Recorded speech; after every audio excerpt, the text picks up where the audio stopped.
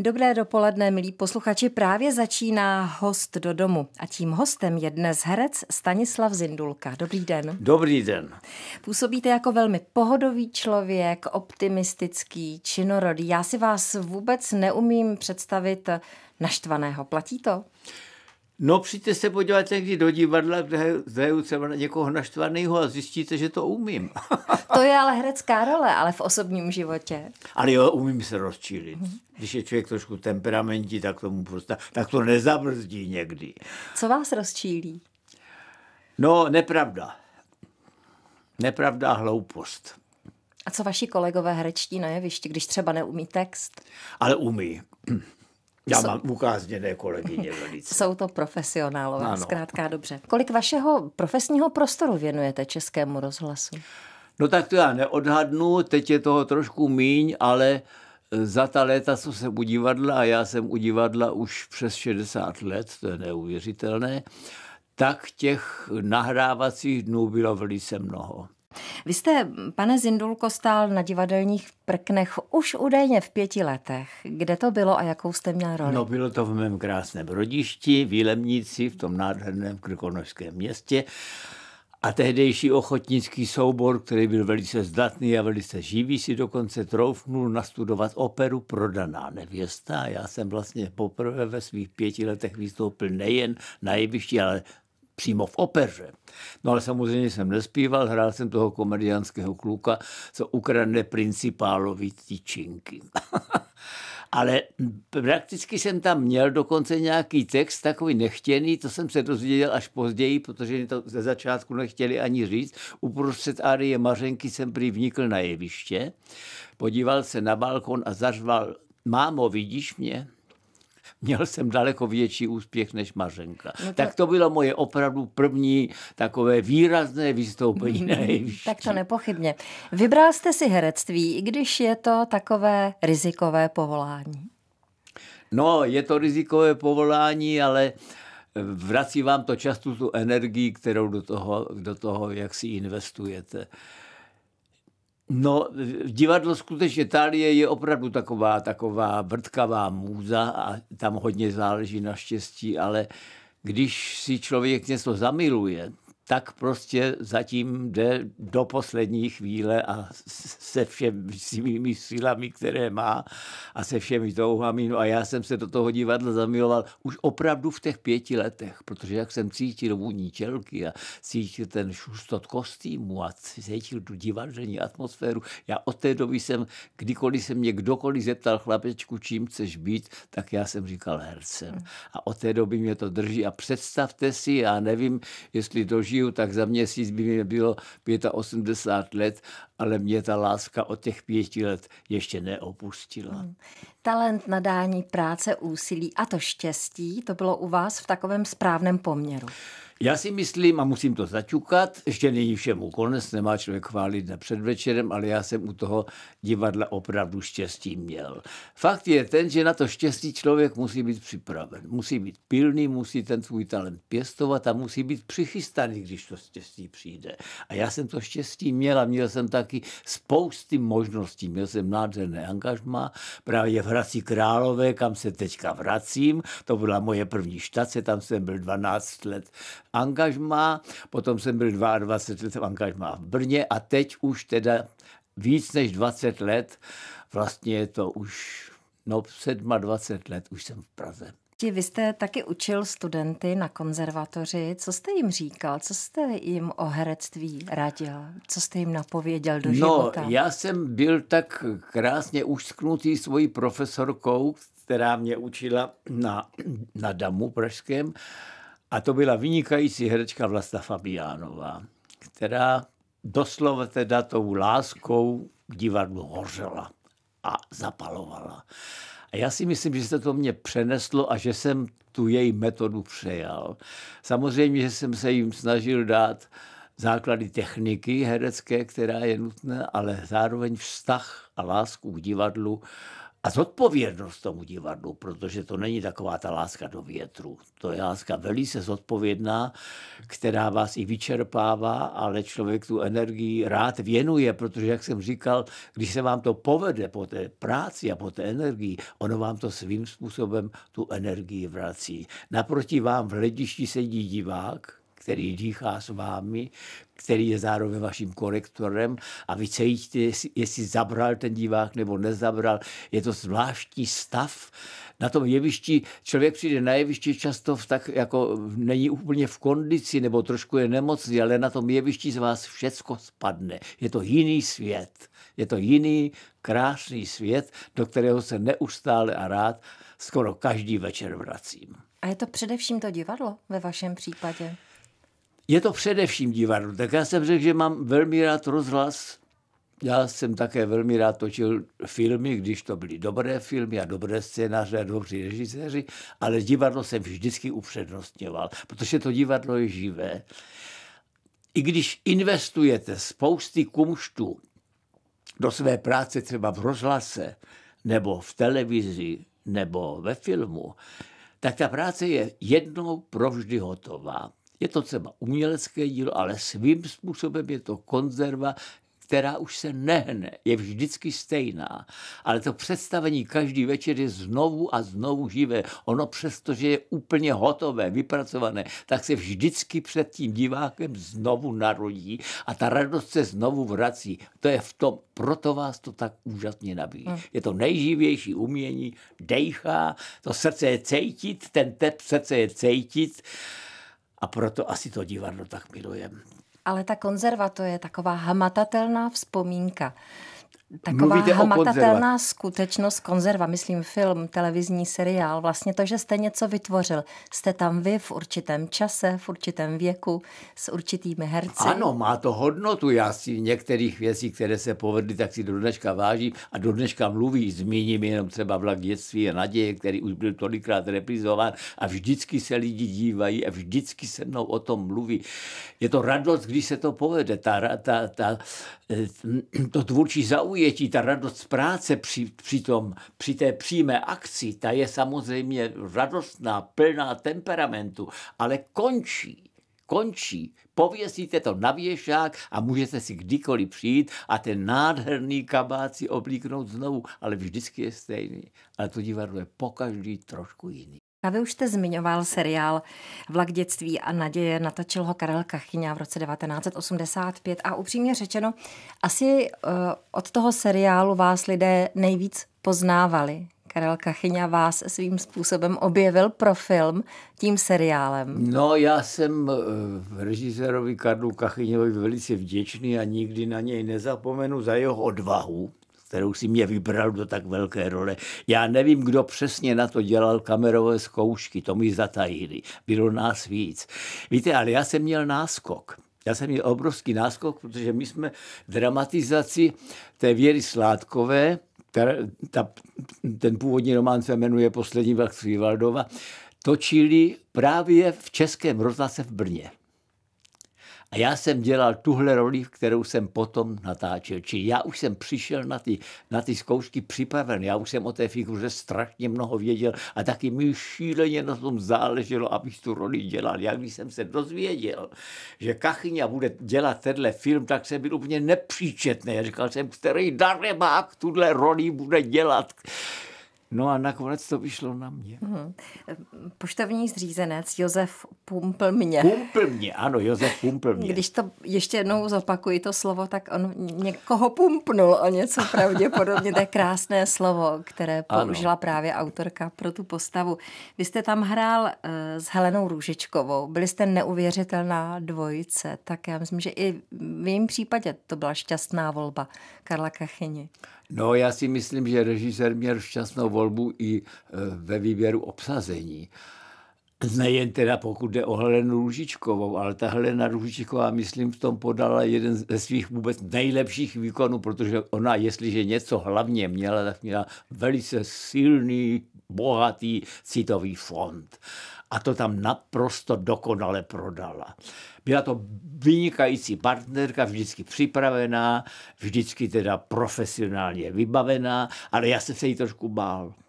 Jak to? No ona byla taková nezanedbatelná a fortelná. Tam je jedna scéna, kdy ona se tak strašně rozčilí na ty ordnery, je už v noční košili, křičí na ně z okna a plná rozčilení se vrací a skočí do postele, kde já už ležím. A já jsem tam měl, když se to několikrát opakovalo, příšernou hruzu, aby neuklouzla protože by to dopadlo asi špatně a já bych tady možná dneska ani neseděl.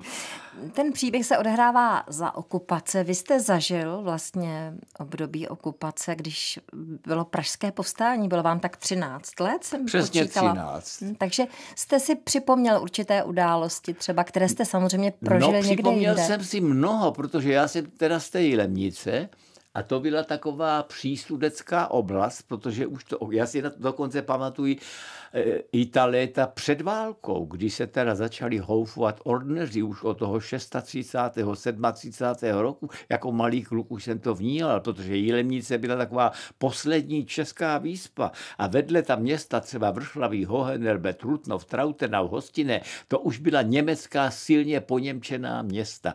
Čili já jsem tuhle atmosféru znal a dokonce neuvěřitelná věc, jsem právě s tou prodanou nevěstou zažil něco, co jsem potom točil v tomto filmu, v tomto seriálu. Čili to je ta prodaná nevěsta, kterou jste sehrával v těch pěti tu letech. prodanou nevěstu, kterou jsem hrával, tak s tou prodanou nevěstou ten ochotnický soubor jezdil po těch menších štacích, takže jsme třeba byli právě ve Vrchlavi, v Hohenelbe i v Trautenau, v Trutnově.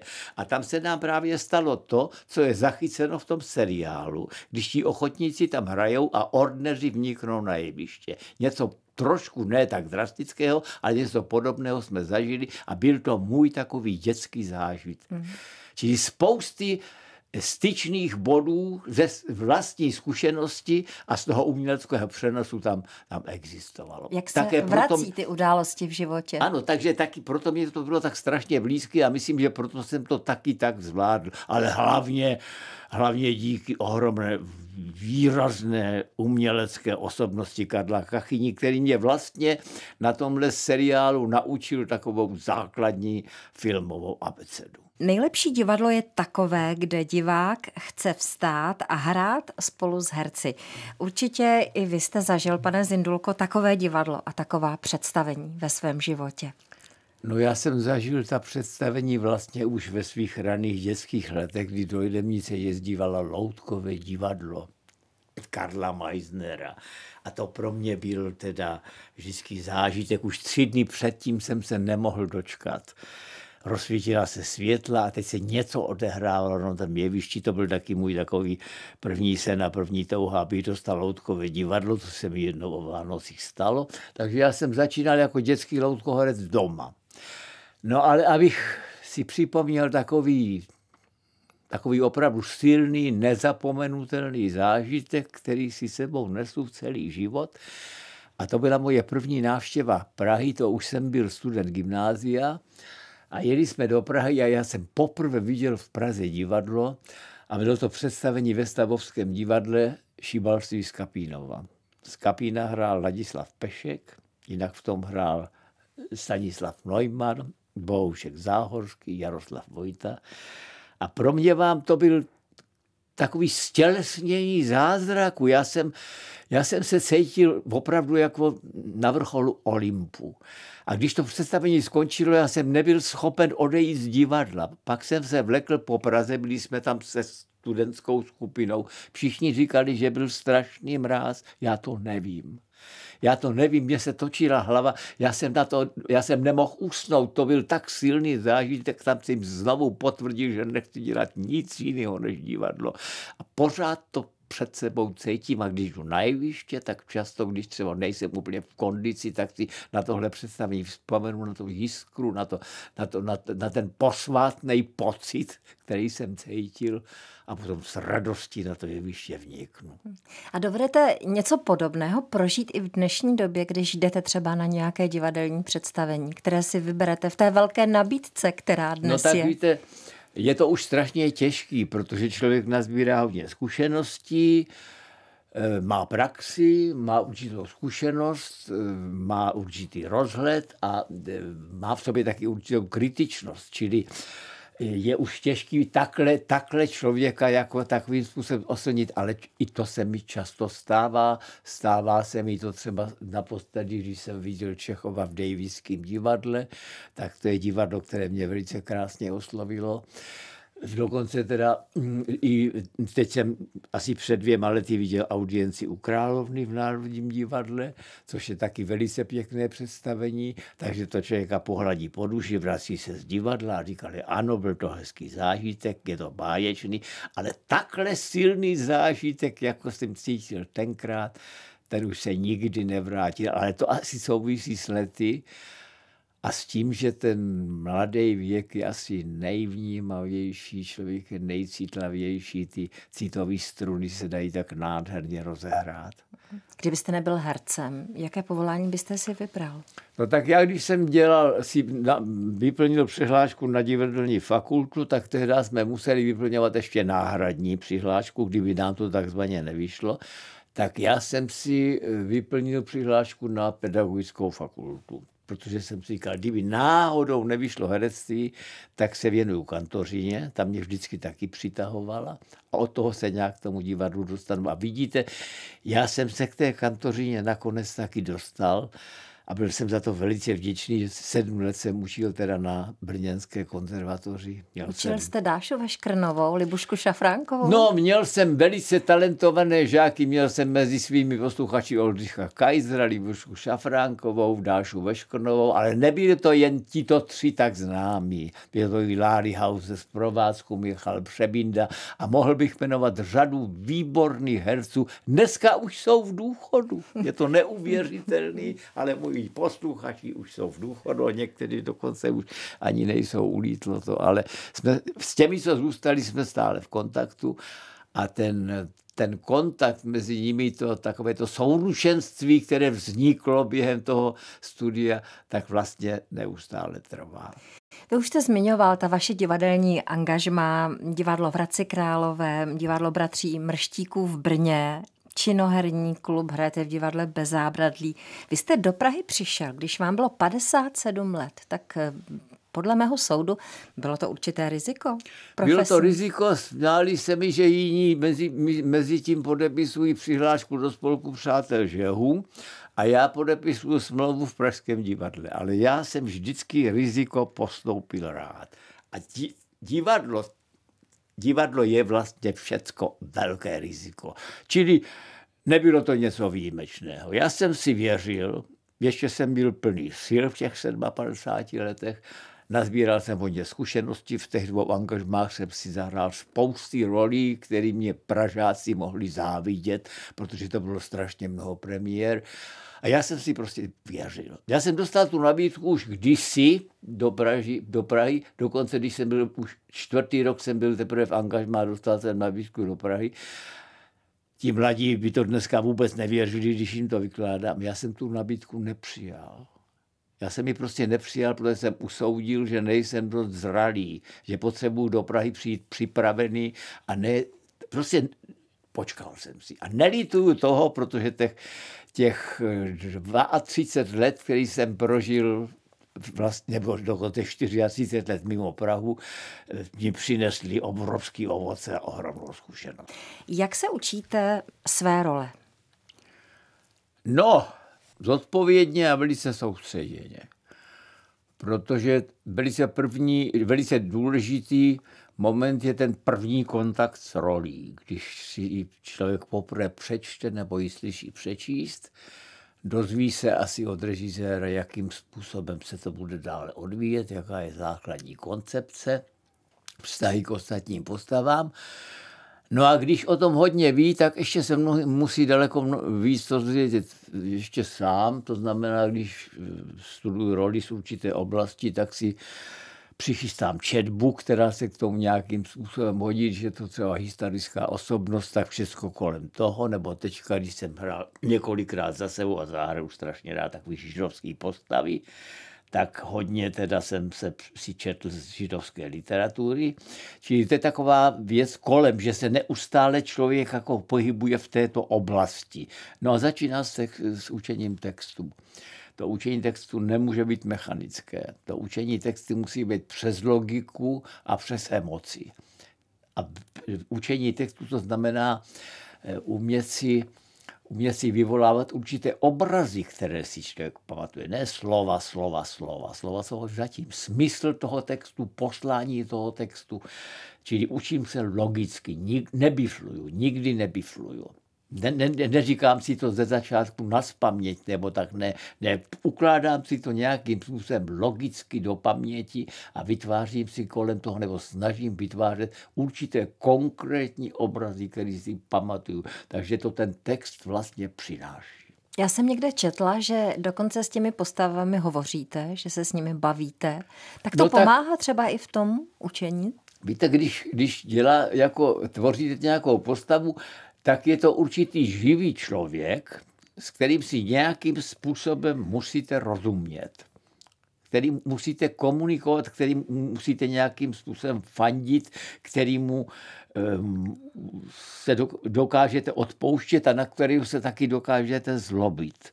To všecko u toho je. Takže se jako stává, že občas najednou, když to učím, najednou mi pár těch vět vyskočí na hlas a já, si, já se s tou postavou, já s ní vedu dialog prakticky. Já jí pokládám otázky a ona mi odpovídá. Já si o tom člověku musím něco dozvědět. Stane se z něho někdo můj velice blízký. A když třeba, já tomu říkám, když třeba po tolika reprízách, jako v činoherním klubu máme strašně mnoho repríz, já e, v současné době mám na repertoáru titulní roli v Goldoni hoře Impresario ze Sminy, kterou hrajem 16 let předtím jsem hrál, nebo teďka jsem hrál moje strašidlo s Blankou Bohdanovou. Na tu, na tu, tu postavu si tak zvyknete, že si ji tak oblíbíte, že když přijde poslední repríza a vy víte, že ta postava vám odejde, tak je to trošku jako pohřeb. Prostě se s někým definitivně rozloučíte s někým důvěrně známým, s kým jste se znali, s kým jste chodili tak často na jeviště mezi diváky a který vás doprovázel, abyste doprovázeli jeho. Která postava vám dala hodně zabrat? S kterou jste si moc nerozuměl? Tak z těch posledních bych jmenoval asi dvě. A to je třeba, to byla inscenace činoherního klubu Felixe Mitterera Moje strašidlo. Je to hra pouze o dvou lidech. Já jsem tam měl vynikající partnerku, to je tak strašně důležitý. Partner je velice důležitý, často rozhoduje o tom, zda se vám ta povede nebo ne. Tak mojí partnerkou byla Blanka Bohdanová. Ta role byla něco úplně jiného, než jsem do této doby dělal. Když jsem dokonce poprvé tu hru přečetl, tak jsem říkal, je to úžasná hra, já to hrát nechci, protože je zlá. Ta postava je krutá a jak jsem tak postupně se do toho jako pohroužil a studoval jsem to ze všech stran, tak jsem zjistil vlastně, že ta krutost pramení z nějaký strašný vnitřní bolesti, z příšerného dětství, který ten člověk prožil a začal jsem mu rozumět. A začal jsem se s tou postavou doslova prát, až jsem se z ní zžil. A když jednoho dne to představení skončilo, do dneška je mi po té postavě smutno. A která postava je vám obzvlášť blízká, kterou milujete, na kterou rád vzpomínáte, kterou byste se znovu rád zahrál? konkrétně, já teď mám na repertoáru celkem osm různých věcí. Z toho kromě jedné výjimky jsou to sami takzvaný klády. Mezi nimi jsou teda dvě krásné židovské postavy, jak jsem řekl to hrát, protože židovský židi jsou strašně bohatí, zajímaví lidi, pořád jim nerozumíte, pořád se snažíte jim dostat na kloup.